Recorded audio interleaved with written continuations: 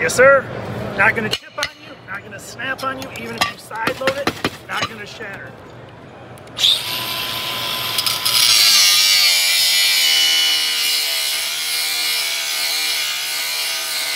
Thicker stuff, I can turn right around and grind it as well.